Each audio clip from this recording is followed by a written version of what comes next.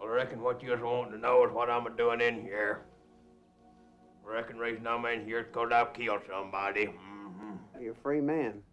They let you out so you can do as you please. Where will he go? I think he's going back to Millsburg, where he's from. Who's that strange looking man behind you?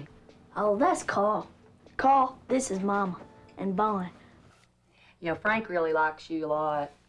He says you make him feel calm. Mama has a boyfriend now. His name is Doyle Hargraves. Doyle is a monster. I'd like to kill that son of a bitch. I hate him. You think I'm scared for you to stay here? Is everything gonna be okay? Are you all right?